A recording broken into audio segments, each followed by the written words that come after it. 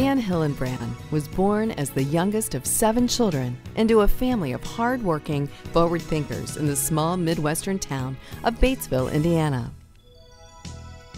By the time Dan was born in 1924, the second generation family business had put the Hillenbrand family into a prominent role of business and civic leaders in their hometown. It is from this place that Dan would draw on the skill and determination of his father and brothers, and where he gained an appreciation of the value that each and every person brings to a business and a community. Dan never understated the role that his upbringing had in making him the successful business leader that he became.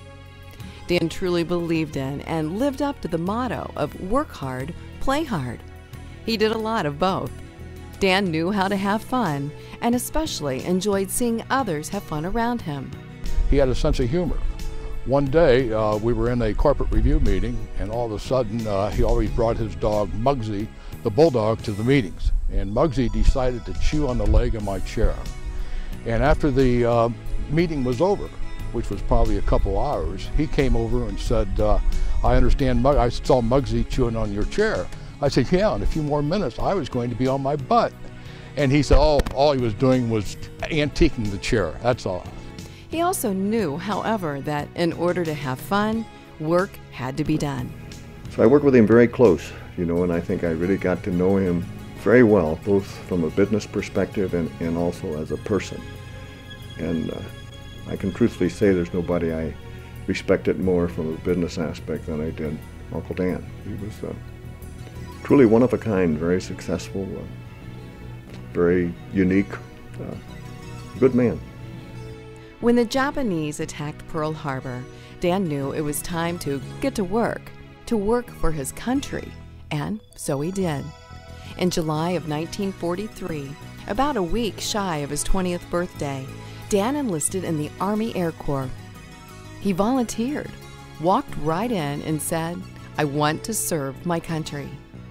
Dan's assignment would be to fly supplies to the U.S. troops in a C 46 over some of the most treacherous terrain on the planet, still considered the most dangerous route ever assigned to air transport. Dan flew it for two and a half years while living in the harshest of conditions in hot, leaky tents. Dan was shot down twice and made it back. Along the way, he earned the American Theater Ribbon, Pacific Theater Ribbon, the Victory Medal, and Good Conduct Medal. He also earned three Bronze Stars, two Air Medals, and Distinguished Flying Cross for showing real courage in the face of death. When Dan returned home from the war, his father and brothers, who had been busy working for the family business, said, Welcome home. Now get to work. When Dan began his career at Hillenbrand Industries in 1946, total company sales were 2.6 million and net income was 128,000. Dan was uh, a very uh, a strong man in terms of uh, the vision he had for the company. He was quite a visionary. He he intended to grow our company very significantly and he did. In 1964, Dan took over the Batesville Casket Sales Department. In that year, sales were 12 million and net income was 1.3 million. He quickly reorganized the sales department by expanding the number of territories, greatly increasing the number of sales representatives, and spearheading the development of a new product line called Monoguard. When he decided that the casket company had to be able to compete with each local casket company, and he said, okay, how am I going to do this? First thing, I want to be have some manufacturing cost advantage. And once I have the manufacturing cost advantage, then I can afford to put in this warehouse system so that I can deliver a casket to any funeral director in the United States within 24 hours, and no competition could beat us. And that's what drove him to such a dominant place in the casket business. In 1969, Dan was named president of Batesville Casket Company. During his eight years directing sales and as president, sales increased from 12 million to 49 million. In 1971, Hillenbrand Industries became a public company. And he always said, you know, if we do the job, the share price will take care of itself. And amen to that, you know, I mean, that's, everybody can have excuses, but you do the job, you increase those earnings, you increase the revenue, and you have a great culture, and uh, you got a good business. He was actually the best CEO I've ever seen or read about. Um, uh, during his tenure, during the vast majority of his tenure, our company was in the top 10% of the New York Stock Exchange companies for total shareholder return, both on an annual basis and a 10-year cycle basis. Uh, remarkable. He's the one that took the foundation that his three older brothers built and his father built and turned it into the successful company that it is today.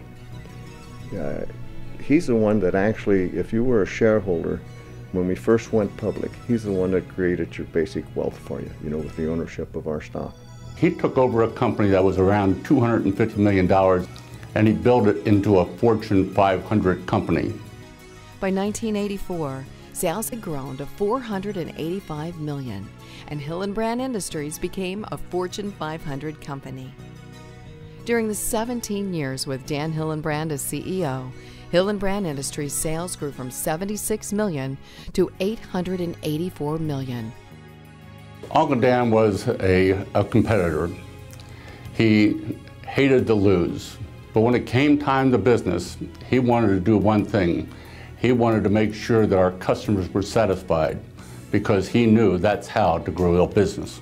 Dan Hillenbrand was a unique person, uh, a high integrity, and he was a real competitor. I remember when Hillrom had 92% market share and he was still looking for a couple more points. Most important to Dan Hillenbrand, though, was the love of his life. Mary Homan Hillenbrand, whom he was married to for 62 loving years. She was his soulmate, and they made a stunning couple. Perhaps Dan's proudest achievement was that which he and Mem accomplished together, raising three lovely daughters Diane, Lynn, and Janet Claire. He loved watching them grow and especially enjoyed spending time with them in the years after his retirement.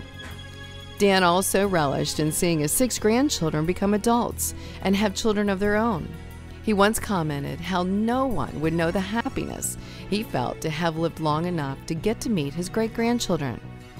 Dan Hillenbrand, loving husband and father, successful businessman, generous benefactor, and patriot. Your life and legacy is celebrated today and shall be for many years in the future.